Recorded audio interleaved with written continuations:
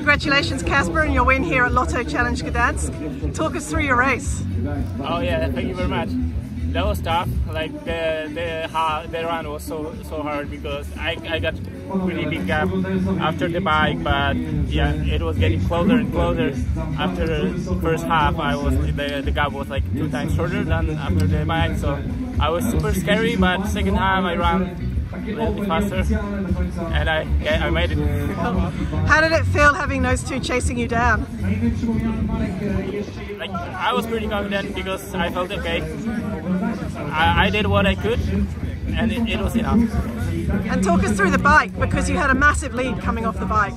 Yeah, that was my plan because last weekend I raced in Ironman 70.3 Warsaw. I did the same. I took like six minutes from, for the second gap. For, I, I took six minute gap so I tried the same thing. It worked. So.